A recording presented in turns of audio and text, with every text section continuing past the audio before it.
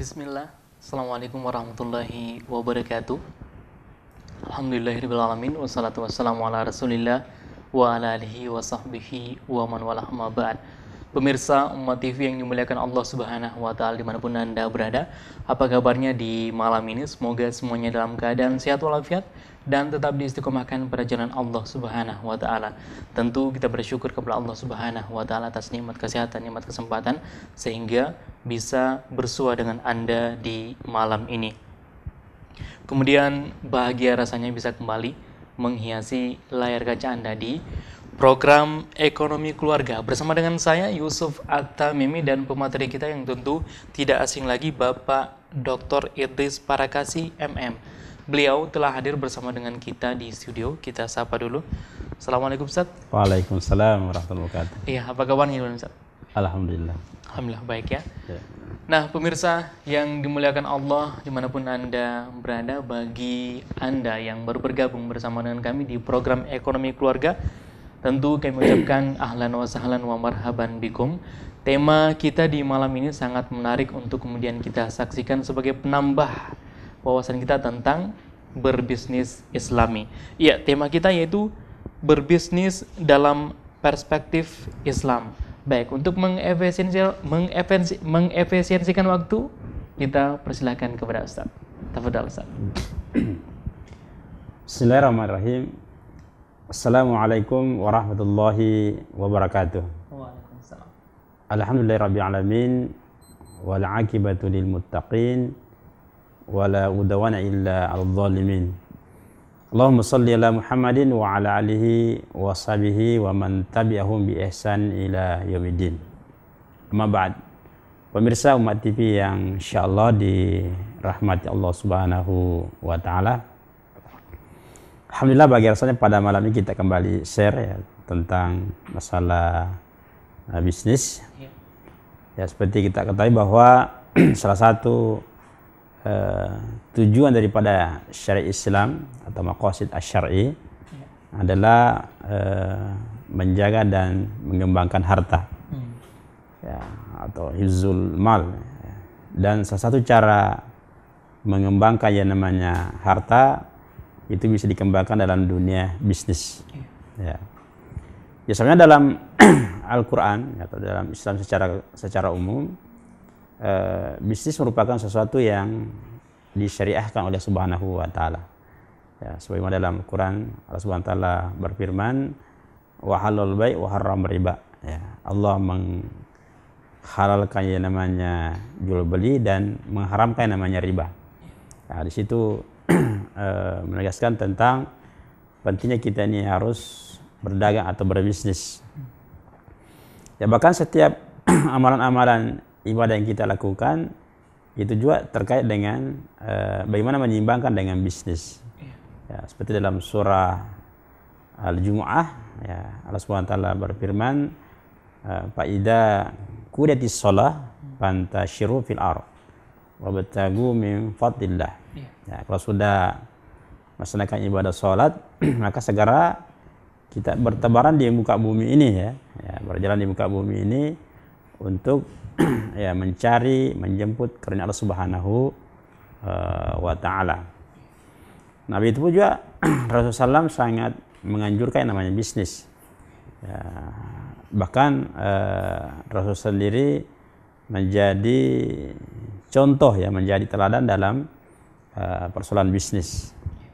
Ya, uh, kita lihat beliau pada umur 12 tahun ya sampai kurang lebih ta, uh, umur beliau 37 tahun ya itu beliau menggeluti namanya uh, usaha atau bisnis. Ya, beliau uh, menjual menawarkan dagangnya begitu pula dia kerjasama dia punya bisnis sendiri dia mengembangkan ya, dan dan dia juga bisa bersama dengan pengusaha-pengusaha lain atau ke pemuda-pemuda lainnya ya dalam bentuk bisnis. Ya. Ini juga betapa beliau sangat me menganjurkan bagi kita atau menyuruh kita untuk mengembangkan namanya bisnis. Ya bahkan eh, masa bisnis beliau itu lebih lama dengan masa kerasul, kerasulannya ya. Hmm. Ya beliau kurang lebih 25 tahun menggeluti namanya bisnis ya sementara uh, menjalankan uh, misi dakwah ya itu kurang lebih 23 tahun. Hmm. Ya, ini juga betapa memang uh, kita harus uh, berupaya juga menguasai namanya bisnis ini. Yeah. Bahkan juga kita lihat para sahabat-sahabat Rasulullah ya kita bagaimana Abu Bakar As-Siddiq, bagaimana Umar bin Khattab, Utsman bin Affan ya, begitu pula sahabat-sahabat lainnya ya itu rata-rata mereka sangat uh, menggandrungi namanya bisnis. Yeah. Ya, tentu dalam kehidupan kita ya khususnya dalam Islam ini baik secara uh, individu ataupun secara uh, apa namanya pengembangan Islam secara keseluruhan uh, bisnisnya sesuatu yang sangat dianjurkan ya sangat dianjurkan. Ya karena dalam memperjuangkan agama ini ya dua hal yang harus kita miliki ya. Wajahidu bi amwalikum wa ampusikum fisabilillah. Ya, jadi yang pertama anwal ini ya, harta, ekonomi kita harus kuasai memang. Ya, sebab dalam mengembangkan ya namanya dakwah ini mengembangkan Islam ini ya memang dibutuhkan namanya ya almal ya dibutuhkan harta ya dibutuhkan namanya finansial ya dibutuhkan penguasaan ekonomi. Ya, sehingga dengan penguasaan ekonomi kita bisa uh, mengembangkan dakwah ini secara ya maksimal ya. Karena memang dakwah ini ya butuh juga namanya ya infrastruktur butuh ya namanya biaya operasional ya butuh namanya pengembangan pengembangan uh, wilayah dan sebagainya sehingga uh, ekonomi perlu kita kuasai. Dan salah satu di antaranya adalah bagaimana kita bisa menguasai uh, yang namanya bisnis ini. Nah, itu yang pertama. Yang kedua sebenarnya bahwa dengan Eh, berbisnis ini kita bisa mengembangkan namanya at-ta'awun ya mengajak mengembangkan namanya kerjasama dalam kebaikan-kebaikan. Ya sebagaimana perintah subhanahu wa taala wa ta'awanu al birri wa taqwa ya wala ta'awanu al ismi wal udawan ya bagaimana kita mengembangkan kerjasama dalam kebaikan-kebaikan dan ketakwaan. Maka bisnis ini bisa menjadi wasilah dalam membangun uh, yang namanya uh, kebaikan-kebaikan tadi itu. Ya, sebab kita katakan bahwa uh, bisnis ini bukan sesuatu yang terpisah dengan syariah ya. Iya. Ya, dia memang asal dasar dengan ketauhidan bahwa uh, seluruh aspek aspek kegiatan dalam Islam ini termasuk dalam bisnis itu bagian daripada syariah. Ya, bagian daripada syariah yang harus memang landasi karena keimanan kepada Allah ya tujuannya untuk mendapatkan ridha Subhanahu wa taala dalam pengelolaannya dalam pelaksanaannya tidak boleh bertentangan dengan syariah ya sehingga dengan adanya ya bisnis ini merupakan saran kita untuk bisa bertahun ya dalam hal yang dicintai dan diridhoi oleh Allah Subhanahu wa taala. Yang ketiga tentunya adalah bagaimana memenuhi kebutuhan daripada uh, umat manusia ya, terutama kita sebagai umat Islam. Ya, tentu kita sebagai manusia setiap uh, saat ya setiap waktu setiap masa ya kita dibutuh namanya kebutuhan-kebutuhan uh, sehari-hari kan ya. ya butuh pangan butuh papan butuh sandang ya butuh uh, kebutuhan-kebutuhan sifatnya sekunder ya. ya maka tentunya lebih pantas untuk memenuhi kebutuhan itu adalah orang muslim sendiri ya ya karena dengan dengan uh, kita melakukan transaksi dengan orang-orang yang beriman, orang yang paham agama tentu ya tidak mungkin dia menjual sesuatu barang ataukah produk yang ya bertanda dengan syariah. Ya ini ya salah satu hikmahnya di situ bahwa uh, dengan adanya bisnis ini kita bisa uh, dengan tadi menguasai ekonomi, kita bisa bertransaksi dengan orang-orang yang paham agama. Ya, sehingga kita harapkan dengan dikuasainya ekonomi oleh orang-orang yang beriman, orang yang memahami syariah ini, maka diharapkan akan bisa kita memenuhi kebutuhan-kebutuhan kita secara benar ya tidak seperti sekarang ini kita selalu ada khawatiran ya iya. tentang produk-produk yang dijual apakah ini tidak mengandung hal yang uh, dalam syariah hmm. ya bagaimana proses pembuatannya dan seterusnya ya kita ada kekhawatiran seperti itu iya. nah yang lain juga bahwa dengan adanya bisnis ini kita bisa menerapkan tentang uh, aturan-aturan syariah. Hmm. Ya, karena sekali lagi bisnis ini bukan sesuatu yang terpisah dalam syariah ya. Nah, ya, ya. kita harapkan dengan adanya bisnis Islam ini dikelola oleh kaum muslim dengan baik, maka kita bisa menerapkan prinsip-prinsip uh, syariat dalam bisnis. Ya. ya, tentang misalnya bagaimana kita bertransaksi sesuai dengan aturan-aturan ya, tidak mengandung unsur-unsur yang diharamkan, tidak melakukan transaksi yang dilarang, ya dan sebagainya. Sehingga kita harapkan dengan adanya bisnis yang dikelola oleh kaum muslimin, ya kita bisa secara bertahap, ya secara berkelanjutan, ya, kita bisa mengelola dan mengembangkan bisnis kita ya sesuai dengan aturan-aturan syariah. Nah, yang lainnya tentu dengan adanya bisnis ini eh, kita bisa ya melatih diri kita menjadi orang-orang yang sabar ya. Iya. Ya, karena namanya bisnis itu ada risiko ya. Harus sabar. Ya harus sabar ya, jadi melatih kesabaran. Yang kedua melatih kejujuran hmm. ya, karena di sini aja ujiannya namanya bisnis itu ya saya rentan namanya penyimpangan-penyimpangan hmm. ya baik godaan dari sisi materinya ya eh, godaan dari sisi eh, apa namanya perilaku bisnis godaan setan sendiri ya godaan sisi kerakusan eh, dan ketamakan sebagai individu itu biasanya kita bisa melakukan penyimpangan ya. Sehingga aspek kejujuran terjadi jadi masalah. Kemudian yang ketiga juga bagaimana kita bisa memberikan pelayanan terbaik kepada orang lain. Iya. ya di sinilah uh, pentingnya bagaimana manajemen yang baik. Ya sehingga kita bisa memberikan ya istilahnya ahsanu amala ya. Iya. service excellent dalam uh, dalam bisnis. Ya uh, kalau kalau orang orang Inggris mengatakan ya tidak boleh kita membuka toko kalau tidak bisa senyum ya hmm.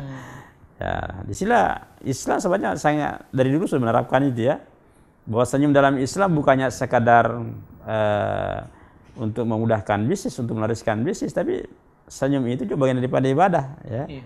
Tabassumu liahika sedekah. Ya, senyum kepada saudara itu adalah sedekah. Bahwa dalam berbisnis, ya penerapan sunnah-sunnah Rasulullah SAW itu bukannya sekadar uh, secara verbal saja itu terkait dengan bisnis, tapi juga dari aplikasi sendiri, eh, eh, apa sunnah itu bisa kita mendapatkan pahala dari Allah Subhanahu wa taala. Nah, sehingga sekali lagi manfaat dalam bisnis begitu banyak ya. Bukan saja dari sisi keuntungan saja yang kita harapkan, tetapi dari sisi bagaimana penegakan syariah ini ya sangat luar biasa. Ya karena memang kita lihat dalam Al-Quran memang secara secara umum ya atau secara mayoritas eh, memang lebih dominan adalah muamalah. Ya, lebih dominan masalah muamalah sehingga pentingnya memang kita eh, harus memahami tentang masalah eh, bisnis ini. Nah juga yang sebenarnya dalam dalam manfaat bisnis ini eh, kita harapkan dengan adanya bisnis yang kelola ini ya bisa membuka lapangan kerja ya karena sekarang ini ya persoalan eh, tentang masalah eh, pembangunan ini adalah masalah pengangguran ya karena eh, mungkin lapangan kerja begitu sulit sekarang ini bahkan juga berbagai macam krisis, krisis ekonomi yang terjadi sehingga juga banyak perusahaan yang memphk daripada uh, karyawannya atau dirumahkan. Nah, dengan adanya bisnis ini kita bisa membuka peluang-peluang kerja. Ya, sehingga orang-orang yang tidak punya pekerjaan, orang-orang yang uh, lost uh, pekerjaan ya bisa uh, apa namanya memanfaatkan potensi dengan berbisnis. Ya, atau dengan berbisnis ini bisa kita membuka lapangan kerja. Ya, sehingga ya masalah-masalah pengangguran ini bisa di kita kendalikan ya karena pengangguran juga satu beban sosial ya, sebab kalau mereka tidak bekerja ya tentu punya pikiran-pikiran yang negatif ya bisa mengarah kepada hal yang sifatnya haram ya hmm. mungkin dia bisa melakukan suatu tindakan-tindakan yang uh, di luar kebiasaannya ya mungkin keterpaksaan ya ataukah juga dia bisa melakukan perbuatan-perbuatan yang melanggar syariah hmm. ya karena tidak ada pekerjaan lain ya, ini sekiranya uh, pentingnya kita berbisnis dan apa manfaat-manfaat daripada bisnis itu. Iya. Ya. Baik, terima kasih Ustaz. Nah pemirsa yang dimuliakan Allah di mana pun Anda berada, Ustaz telah mengawali penjelasannya di malam ini tema kita yaitu berbisnis dalam perspektif Islam. Kami menanti partisipasi Anda di 082 393 111 123 tentu dengan format seperti biasa ketika Anda ingin mengirimkannya melalui SMS. Nah Ustaz, yeah. Uh, terkadang uh, masyarakat atau saudara-saudara kita yang kemudian takut dalam berbisnis. Ya. Nah, uh, seperti apa uh, tipsnya untuk kemudian membangun kesadaran mereka untuk uh, berbisnis ini, Ustaz? Sehingga ya bisa menambah lapangan kerja gitu untuk uh, menambah penghasilan mereka. Iya. Yang pertama, pe- eh, bagaimana kita harus men- menanamkan tauhid ya atau keimanan dalam diri kita bahwa berbisnis itu bagian daripada perintah Allah, ya perintah Allah. Ya sehingga dengan berbisnis ini kita bisa banyak melakukan kebaikan-kebaikan lewat bisnis itu. Nah, Itu yang yang pertama. Yang kedua, eh, kita bisa mengambil banyak manfaat daripada bisnis itu. Ya, baik untuk diri kita, keluarga kita atau orang lain. Iya. Ya, sebenarnya kata Rasulullah, khairun nas ampahul nas. Ya, sebaik-baik di antara kalian orang yang paling banyak manfaat pada orang lain. Hmm. Ya, sebab kalau kita jadi karyawan saja kan ya untuk diri kita sendiri ya. Iya. Tapi kalau jadi pebisnis ya jadi pengusaha, insya Allah kan banyak manfaat yang lebih luas ya. Hmm, iya. Ya, sehingga mudahan dengan bisnis yang kita kelola ini bisa berikan manfaat maslahat lebih luas kepada orang lain. Dan itulah yang manusia yang terbaik. Yang ketiga adalah eh, kita harapkan dengan penguasaan bisnis ini kita bisa mengakselerasikan tentang eh, pengembangan dakwah kita sendiri. Iya. Ya, sebab dengan berbisnis kita bisa mempraktikkan bagaimana bisnis yang Islam. Iya. Ya, jadi berdakwah itu bukannya sekadar kita bisa bicara secara verbal di podium, ya, di podium ya, ya bisa ceramah ah, dan sebagainya. Tapi dengan kita berbisnis secara syariah, ya bagaimana kita menerapkan prinsip-prinsip bisnis dalam Islam, nah itu juga merupakan dakwah bilhal ya, dakwah yang secara langsung nyata yang kita contohkan dalam masyarakat bahwa inilah ya bisnis yang, yang seharusnya kita kelola dengan baik sehingga bisa juga menjadi syiar terhadap Islam ini. Ya, sebenarnya kata Subhanahu wa taala, "Wa may yu'azzim sya'airallah fa innaha min taqwal qulub." Siapa mensyiarkan daripada agama ini, ya termasuk bisnis dan syariah, ya itu juga sebagai eh, apa namanya eh, implementasi daripada nilai keimanan dan ketakwaan kita kepada Allah Subhanahu wa taala. Nah, itu yang kedua. Eh, yang ketiga juga bahwa dengan bisnis kita bisa mendapatkan pendapatan tentunya, ya. Ya, kita bisa mengelola potensi-potensi alam, meng- me- mengelola potensi sumber daya manusia, bisa kita mengelola sumber daya eh, jaringan, ya. Kita bisa mengelola sumber daya informasi, ya. Sehingga dengan ini kita bisa mengambil banyak manfaat, ya. Sehingga kita bisa mendapatkan banyak pendapatan, ya. Bisa meningkatkan kesejahteraan kita, ya. Bisa kita ber- banyak bersedekah, kalau sudah terja- eh, dapatkan kewajiban zakat kita ba- membayar zakat ya sehingga kita bisa banyak menyalurkan kebaikan-kebaikan dalam agama Allah Subhanahu wa taala. Ya seperti itu. Baik, pemirsa yang dimuliakan Allah di mana pun Anda berada, tentunya kami ya menanti partisipasi Anda di malam ini. Sudah ada yang kemudian menelpon tadi Ustadz, tapi Ustadz sementara menjelaskan Anda bisa bergabung bersama dengan kami di 082 393 111 123 tentu dengan format seperti biasa ketika Anda ingin mengirimkan pertanyaan melalui SMS. Baik Ustaz, Eh, ada yang kemudian bertanya eh, pada malam ini dari hamba Allah Ustaz ya, apa bedanya hukum eh, hukum gadai syariah eh, baik yang ada di pegadaian syariah maupun di berbagai bank sekarang ini? Eh, apa hukumnya gadai syariah tersebut? Sebenarnya dalam Islam gadai ini merupakan salah satu bentuk akad yang sifatnya tabarruk ya. Iya. bentuk eh, kerjasama eh, kebaikan. Hmm. Di mana dalam transaksi gada ini tidak boleh kita mensyaratkan ada keuntungan, ada manfaat. Ya, sebanyak kalau digadai syariah, baik di perbankan, eh, produk perbankan syariah sendiri ataupun pegadaian syariah sendiri secara langsung, ya, secara prinsip sama saja Iya. ya yaitu me- apanya menahan barang yang berharga bagi nasabah kemudian eh, memberikan pinjaman ya dan barang yang disimpan ini sebagai eh, jaminan terhadap pinjaman yang diberikan kepadanya. Nah di sini eh, bank syariah ataupun pegadaian eh, syariah tidak boleh mengambil keuntungan dari pinjaman itu. Ya, tidak boleh mengambil keuntungan dari pinjamannya itu. Tetapi di sini bank syariah ataupun uh, pegadaian syariah boleh mengambil biaya terkait dengan penyimpanan barang itu. Iya. Ya, jadi uh, karena ada biaya titip, ada ada biaya pengamanan terhadap barang tersebut, maka uh, di sini bank syariah ataupun pegadaian syariah hmm. mengambil biaya penitipan ya dari itu. Iya. Tapi sama sekali tidak boleh mengambil uh, tambahan biaya atau tambahan uh, beban terhadap pinjaman. Hmm. Ya, sebagaimana di pegadaian konvensional bahwa uh, pinjaman yang diambil dari pegadaian konvensional uh, itu dikenakan biaya berupa bunga dari nilai pinjaman. Yeah. Ya, sebagaimana dalam Islam sudah ditegaskan oleh Rasulullah bahwa kita tidak boleh sama sekali mengambil tambahan, mengambil keuntungan yang dipersyaratkan dari pinjaman itu. Yeah. Ya, karena mengambil keuntungan ya tambahan dari pinjaman yang diambil itu termasuk adalah riba ya seperti kata Rasulullah kullu qardin jarra fi naf'an fahuwa riba setiap pinjaman utang piutang yang dipersyaratkan ada manfaat tambahan dari pinjaman tersebut maka itu adalah riba ya wallahualam terima kasih Ustaz hmm. Nah, pemirsa yang dimuliakan Allah di mana pun Anda berada, Ustaz uh, telah menjawab uh, pertanyaan Anda tadi, hamba Allah ya. Sudah ada yang masuk ini, Ustaz? Ya, silakan. Halo, Assalamualaikum. Waalaikumsalam. Iya, dengan siapa di mana? Iya. Halo. Halo, silakan. Iya. Dengan siapa di iya. mana? Iya, halo. Iya, Bapak, tolong jangan dengarkan suara kami melalui TV ya, dengarkan suaranya melalui telepon. Iya. Oke, oke. Iya, iya. Dengan ya, siapa di mana? Saya ya, Sudirman dari Pangkep. Oh, Sudirman, Pangkep, Sulawesi Selatan. Iya. Ya. Silakan ingin bertanya, uh, Bapak.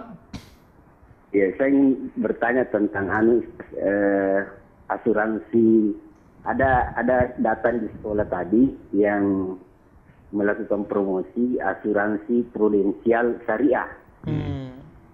Ya, yang dia menjelaskan eh, barangnya itu tentang asuransi eh, pak eh, eh, untuk umur ya selama hmm. 10 tahun. Ya, saya ingin tanyakan Ustaz adalah bagaimana dengan asuransi ini dia dia berlader asuransi syariah apa bisa kami bergabung di situ apa ini hmm. sesuai dengan Islam. Hmm. Mohon penjelasan Ustaz eh, untuk eh, keamanan atau eh, ya kebersihan eh, agama kami. Iya, terima kasih Bapak ya. Iya. Itu saja Bapak? Itu saja ya. Iya, ya. terima kasih. Baik Ustaz, uh, asuransi prudensial syariah bagaimana hukumnya ya. itu yang ditanyakan Fadal. Ya tentu kita lihat dulu bagaimana uh, mekanisme yang terkait dengan asuransi tersebut ya. Iya. Karena sebenarnya asuransinya ada yang membolehkan, ada yang melarang ya. Hmm. ya yang bolehkan tentu bukan secara mutlak dan juga tidak ada yang melarang secara mutlak. Iya. Ya, selama artinya yang membolehkan ini selama tidak melanggar prinsip-prinsip syariah. Hmm. Misalnya tidak mengandung unsur riba, tidak mengandung unsur al-maisir atau judi, tidak mengandung, mengandung unsur uh, goror atau kejelasan. Ya makanya fatwa tentang asuransi syariah ini itu dibolehkan selama tidak mengandung tadi uh, unsur-unsur tadi itu larangan dalam syariah. Yeah. Ya, makanya dalam asuransi syariah yang yang dibolehkan adalah uh, pertama tidak boleh investasinya itu pada lembaga keuangan uh, atau bisnis mengandung unsur riba. Ya, misalnya disimpan di bank konvensional ya, hmm. atau investasinya pada pasar uh, modal konvensional menggunakan bunga yang pertama. Yang kedua, tidak boleh mengandung unsur al-maisir atau judi. Ya, misalnya gini, di di pegadaian konvensional kalau tidak terjadi klaim, hmm. ya maka premi yang diberikan itu akan hangus ya. Hmm. ya akan hangus ya. Sehingga di sini ada unsur al-maisir ya untung-untungan. Hmm. Ya, kalau uh, terjadi apa namanya risiko maka yang untung adalah nasabahnya gitu ya. ya. Tetapi kalau sebenarnya ya, ya perusahaannya kan rugi gitu ya. Hmm. Sebenarnya kalau tidak terjadi risiko, maka premi tadi itu hangus ya. Ya karena memang dana yang masuk sebagai premi tadi itu adalah ke rekening perusahaan. Yeah. Nah itu. Uh, kemudian yang ketiga tidak mengandung unsur goror ya. Hmm. Unsur goror di sini kalau di perusahaan asuransi konvensional eh, tidak jelas dana itu dari mana gitu. Iya. Ya, misalnya terjadi klaim eh, perusahaan membayar dana itu itu dari mana itu tiba-tiba misalnya mungkin hanya bayar satu juta preminya ya kemudian terjadi klaim misalnya dia kecelakaan atau meninggal dapatkan misalnya uang peng, eh, penggantinya mungkin 100 juta misalnya ya itu tidak jelas dari mana itu Nah, nah, maka di asuransi syariah harus semua jelas ya. yang pertama tadi investasinya itu harus ke usaha-usaha yang syariah. Iya. ya tidak boleh pada unsur yang apa namanya bisnis yang haram mengandung unsur eh, bisnis yang haram mengandung unsur riba dan sebagainya. Yang kedua harus jelas sumber pembayaran eh, klaim itu. Iya. ya makanya di asuransi syariah itu ada dana tabarruknya dan ada dana investasi. Ya dana yang tabarruk itulah yang memang digunakan nanti untuk membayarkan eh, jika terjadi klaim ya terjadi risiko antara ke- antara kelompok eh, peserta asuransi itu. Sehingga jelas bahwa memang dana tabarruk tadi ini dana sifatnya hibah ya sedekah terhadap eh, kelompok itu maka itu dibolehkan karena saling membantu ya. Ada tahu dalam kebaikan dalam ketakwaan. Ya sementara dana investasi tadi itu eh, itu diinvestasikan pada usaha-usaha yang halal nanti mudahannya bagi hasil ya bagi hasil dan dana investasi ini tidak hangus tadi. Misalnya tidak terjadi klaim maka dana investasi ini tidak tidak hangus. Iya. ya akan dikembalikan kembali tanda tambah eh, bagi hasil. Nah kalau mekanisme seperti itu tidak dibolehkan ya dibolehkan. Tapi kalau tidak jelas ya maka itu termasuk eh, sesuatu yang dilarang dalam Iya. eh, syariah. Makanya harus tahu dulu mekanisme dalam asuransi si A tadi ini ya eh, apakah seperti itu atau tidak ya walau alam ya kita harus tahu dulu ya karena kita tidak bisa juga mengklaim bahwa ini sudah halal atau haram Iya. nah kita lihat mekanismenya dulu apakah mengandung unsur yang diharamkan atau tidak ya walau alam Baik, terima kasih Ustaz. Dan kepada Bapak tadi yang telah berpartisipasi menelpon di malam ini kami mengucapkan terima kasih banyak atas partisipasinya di malam ini. Semoga sehat selalu dan tetap diistiqomahkan pada jalan Allah Subhanahu wa taala. Tema kami yaitu berbisnis dalam perspektif Islam. Tetap bersama dengan kami di program Ekonomi Ekonomi Keluarga. Kami akan kembali setelah yang satu ini.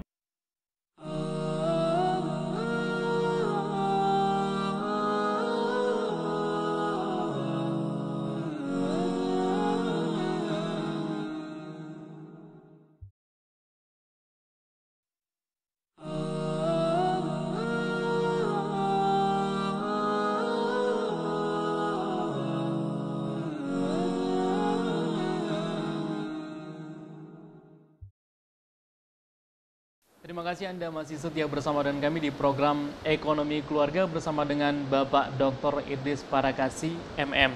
Tema kami di malam ini yaitu berbisnis dalam perspektif Islam ya. Eh, ada beberapa SMS yang telah tiba di meja redaksi kita ini Ustaz ya. Iya. Ada dari Herman Lombok. Assalamualaikum warahmatullahi wabarakatuh Pak Ustadz. Waalaikumsalam Assalamualaikum. Apa hukumnya kita mendapatkan modal usaha dari mengajukan proposal di pemerintah, misalnya usaha sembako, Ustaz. Ini apa hukumnya katanya? Ya. Sebenarnya dalam eh, kerjasama permodalan, ya, saya d- dari sumber mana saja yang penting halal itu tidak apa-apa ya. Itu yang pertama. Yang kedua, bagaimana bentuk kerjasamanya? Apakah dia bentuk pinjaman atau dalam bentuk kerjasama misalnya eh, bentuk bagi hasil? Kalau dia adalah bentuk pinjaman, nah, maka sama sekali tidak boleh mengembalikan pinjaman itu ada tambahan dari pokok pinjaman. Ya, karena itu termasuk riba ya. Tapi kalau dia dalam bentuk bagi hasil kerjasama modal, maka perlu disepakati awal eh, berapa porsi pembagian keuntungannya ya. Misalnya 30-70% dari keuntungan. Itu harus jelas dari awal. Ya, jadi sekali lagi tidak masalah ya dari mana saja sumbernya yang penting sumbernya halal dan saya kira dari pemerintah juga halal ya. Nah, tinggal nanti bagaimana akad kerjasamanya. Apakah dalam bentuk pinjaman atau dalam bentuk kerjasama modal ya. Ya, sekali lagi tadi kalau dia ada bentuk pinjaman tidak boleh mengambil keuntungan dari. Ya, yang kita nanti kembalikan kepada pemerintah ya kembali pokok saja gitu. Ya, sementara kalau dia dalam bentuk bagi hasil maka harus dari awal jelas berapa porsi pembagian keuntungannya ya, porsi keuntungannya dari hasil yang diperoleh pada hasil usaha. Allah alam. Baik, terima kasih. Hmm. Dan kepada eh, Bapak di Bapak Herman di Lombok kami ucapkan terima kasih banyak atas partisipasinya di malam ini. Semoga Anda sehat selalu tetap disekomahkan pada jalan Allah Subhanahu wa taala dan tetap menyaksikan program ekonomi keluarga. Baik, Ustaz, ini ada SMS dari hamba Allah Baranti Sidrap Sulawesi Oh, ya. Selatan. Silakan. Assalamualaikum warahmatullahi wabarakatuh. Waalaikumsalam warahmatullahi wabarakatuh. Ustadz, riba dan jual beli eh, memiliki perbedaan tipis. Ya. Apa perbedaan tipisnya Ustadz? Mohon dijelaskan katanya. Iya. Ya sebenarnya perbedaan bukan tipis ya. Dia sangat jauh perbedaannya dia. Iya. Memang dalam Al-Qur'an dalam surah Al-Baqarah Allah, Allah Subhanahu wa taala menegaskan ya wa halal salika bi annahum qalu innamal bai'u mithlu riba ya. Ya, orang kafir itu mengatakan ya jual beli itu sama dengan yang namanya riba ya. Ya, padahal Allah Subhanahu wa taala menegaskan tentang eh, eh, penegasan itu bahwa wa halal bai' wa harrar riba. Allah menghalalkan yang namanya jual beli dan mengharamkan yang namanya riba. Jadi perbedaan itu sangat jauh ya. Jadi hal dan haram itu antara bumi dan langit ya ja- jauhnya ya. Ya memang dalam aplikasinya terkadang memang eh, mirip-mirip ya. Contoh misalnya gini. Kalau kita pinjam uang eh, seseorang pinjam uang ya satu juta dia mensyaratkan kembali misalnya satu juta seratus ya maka itu termasuk riba ya. Di seratus ribu tadi itu tambahan dari satu juta itu adalah riba. Nah, tetapi misalnya gini, eh, seseorang yang membelikan membeli satu barang, misalnya barang elektronik harganya satu juta, dia kasih naik harga misalnya satu juta seratus, Iya. ya maka seratus ribu tadi keuntungan dari dari barang elektronik tadi itu bukan riba, Hmm. ya bukan riba, tapi dia adalah eh, jual beli ya jual beli. Nah, di mana dalam jual beli boleh kita mengambil keuntungan dari harga pokok. Nah itu perbedaannya. Uh, sama sebanyak juga antara orang yang berzina dengan orang yang menikah ya. Iya. Ya, ini kelihatannya sama saja tidak ada hubungan eh, laki-laki perempuan, ya. Nah, yang bedakan apanya? Ya mungkin akadnya. Ada akad nikah, ada akad, satu akad zina gitu ya. Ini kelihatannya sama tapi secara prinsip sangat sangat berbeda.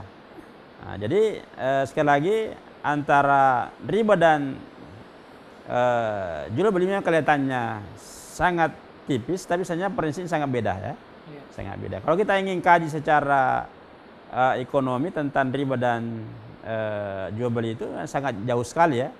Bahwa dalam transaksi riba itu tidak ada transaksi pengganti namanya, tidak ada transaksi real ya. Iya. Ya, uang menghasilkan uang ya. Sementara dalam Islam uang itu bukan bukan eh, barang yang harus diperjualbelikan ya. Uang dalam Islam itu hanya sebagai alat transaksi saja. Ya, sedangkan dalam dalam jual beli ada bisnis real ya. Ada bisnis pengganti yaitu barang yang diperjualbelikan di mana dengan mem- memperjualbelikan barang itu boleh kita mengambil keuntungan dari harga barang tersebut. Ya, sekira itu. Baik, terima kasih Ustaz. Dan eh, bagi hamba Allah di Baranti, sudah eh, Sidrap, Sulawesi Selatan ya, kami ucapkan terima kasih banyak atas partisipasi Anda di malam ini. Semoga sehat selalu dan tetap diistiqomahkan pada jalan Allah Subhanahu wa taala.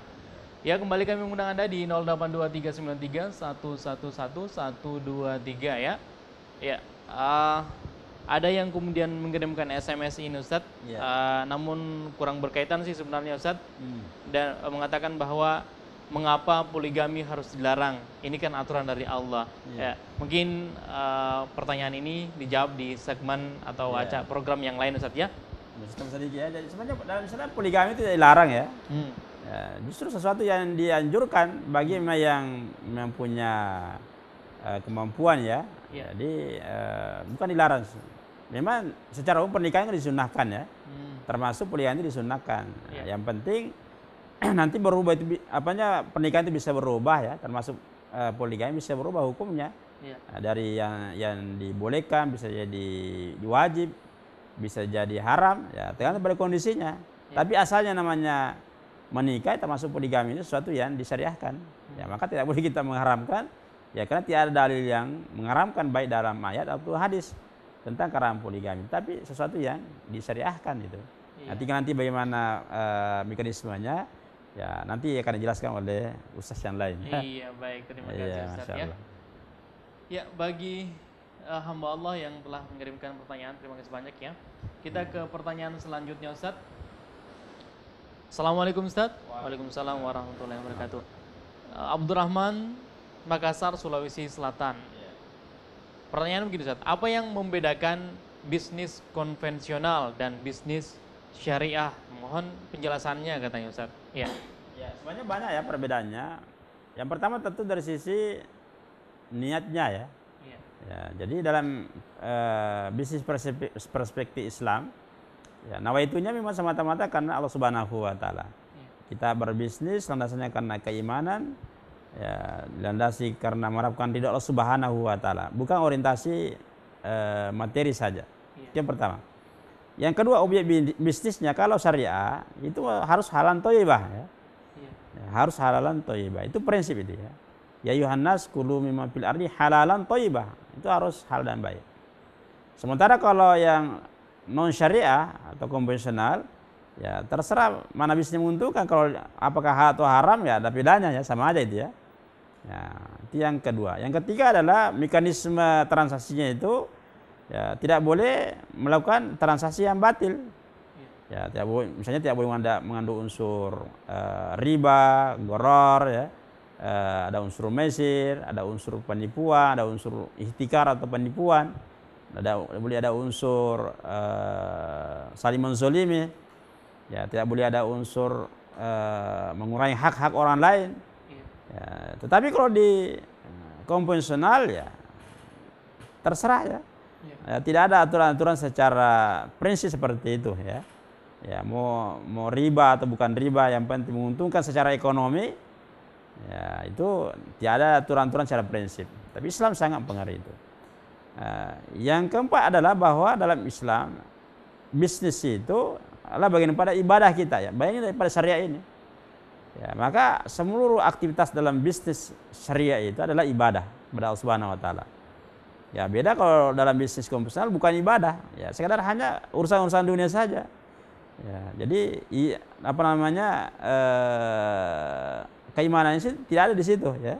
Iya. Selain konvensional itu itu terpisah itu ya. Tapi dalam Islam aktivitas bisnis itu kait dengan ibadah pada Allah Subhanahu wa taala.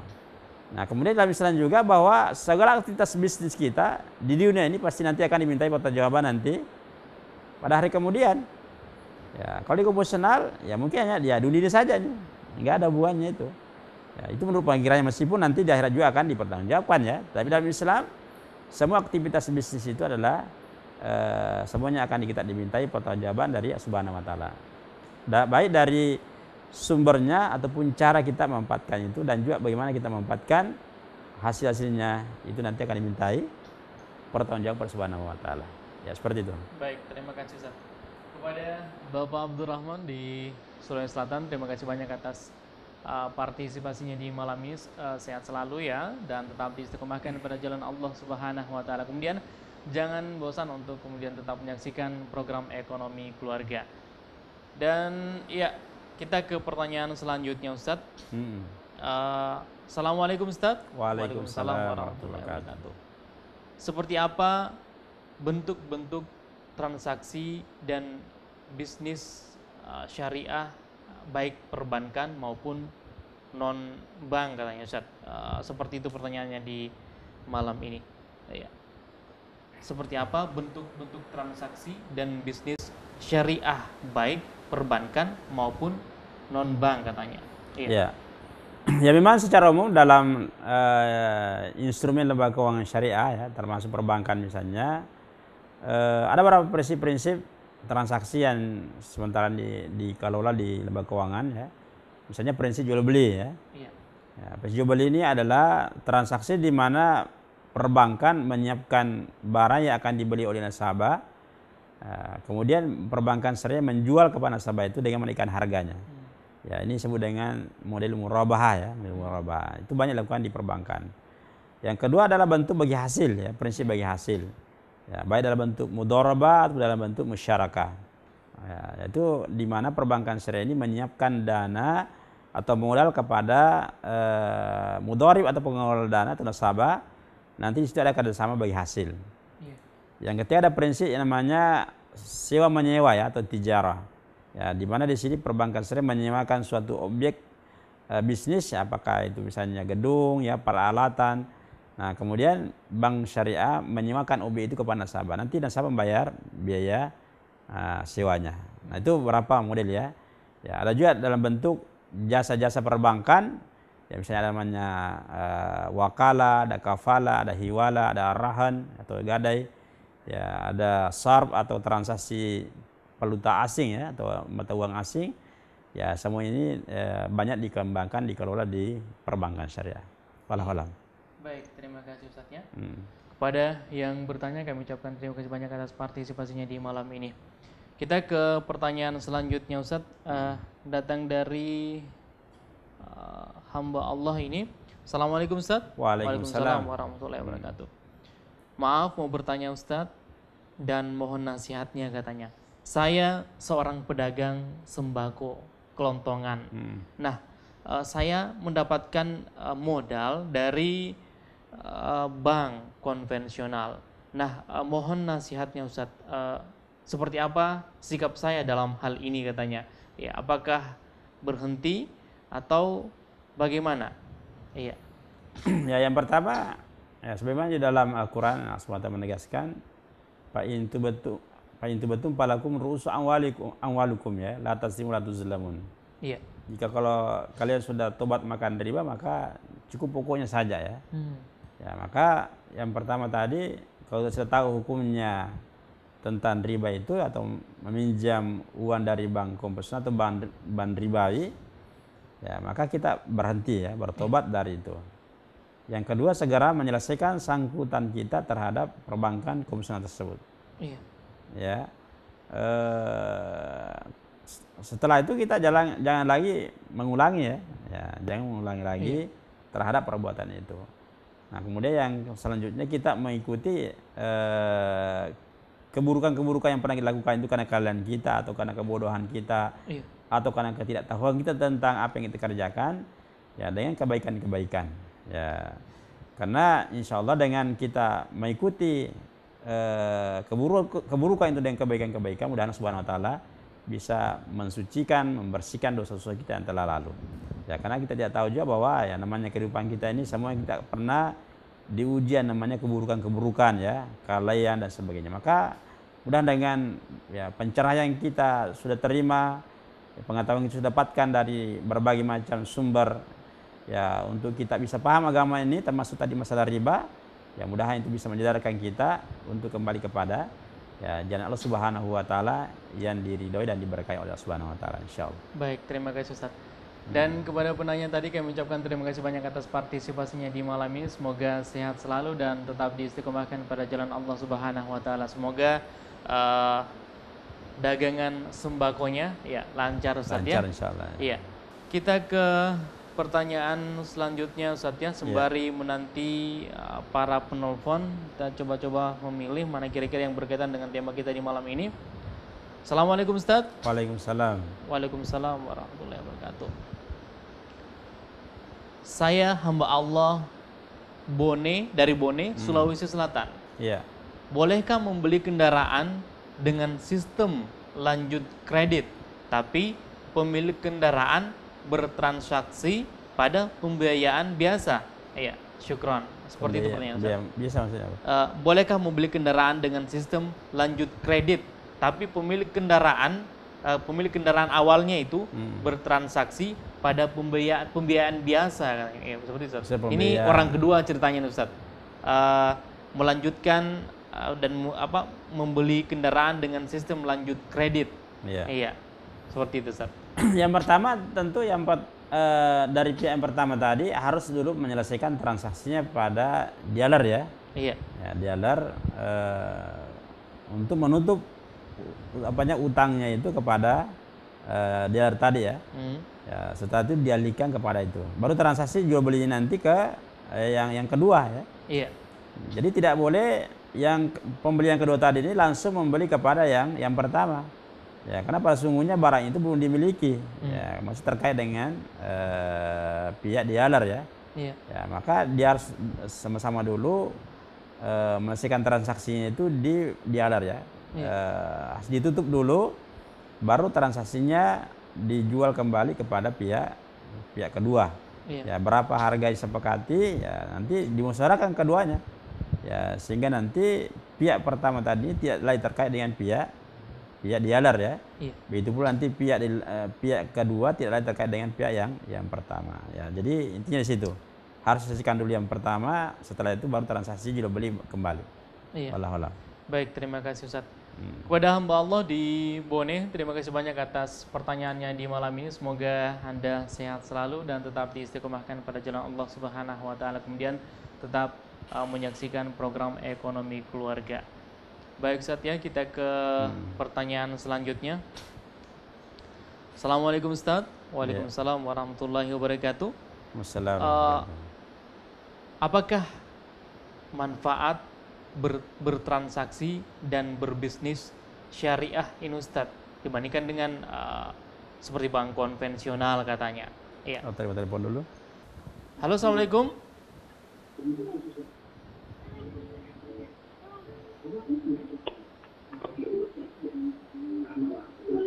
Halo.